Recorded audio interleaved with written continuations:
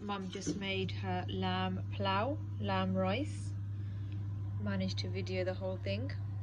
This is four cups of rice, two kgs of lamb, and we did a live recording so it is easy follow along cook along to make mum's lamb pilau